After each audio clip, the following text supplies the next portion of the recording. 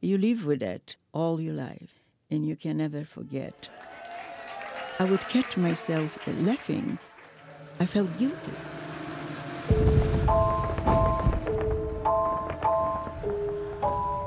When they found us, they came with German shepherds, and those dogs sniffed us out.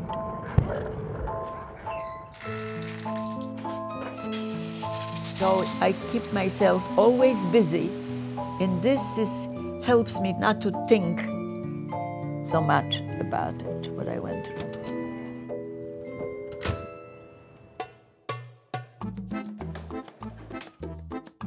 Hi, how are you? Okay. 32. Got it. Okay, okay, Fred. To survive, especially at this mall, all these years is a miracle in itself because everything upstairs is closed.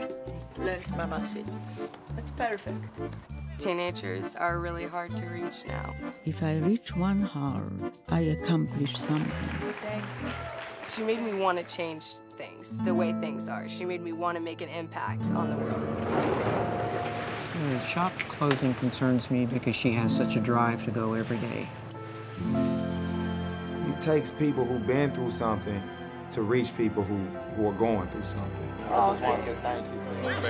It's okay. It's okay. Appreciate it. One person has the power to impact one person, and it's a huge chain reaction. I really tried my best to protect them. There are some things I didn't want them to know. The hard part is watching your mother relive these moments and then watching her pain. It touches me so deeply when I hear and I see denying that never happened, and the hate is still growing. Speaking up is not enough.